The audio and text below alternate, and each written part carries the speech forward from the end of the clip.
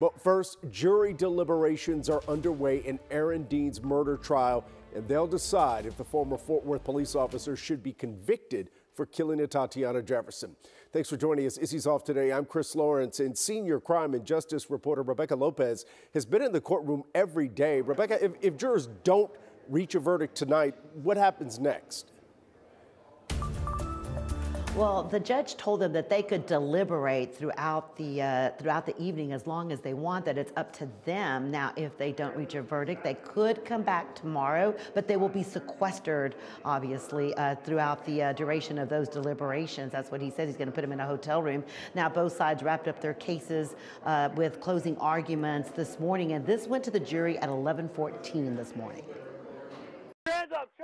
One thing both sides agree on is that Atatiana Jefferson died tragically. He took her away, 28 years old, the rest of her life, at the hands of this defendant.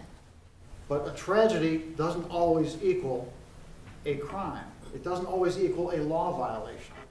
Jurors must decide if Aaron Dean intentionally killed Jefferson and committed a murder, or if he recklessly caused her death and committed manslaughter, or did he shoot her in self defense? Today, you say you can't create the danger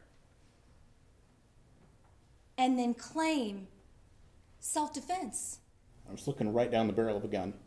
Dean testified he shot Jefferson when she pointed a gun at him when she saw him outside her bedroom window. We never, under the law, ever have the right to point a firearm at a uniformed police officer. But prosecutors claim he never saw the weapon and fired when he saw a silhouette. He never saw that gun. He didn't know what he saw. He was hard charging. He was gung ho. He finally got some action. And he was going to pull his weapon. And because of that, Tatiana will never breathe again. He reacted tragically, but he reacted correctly under the law.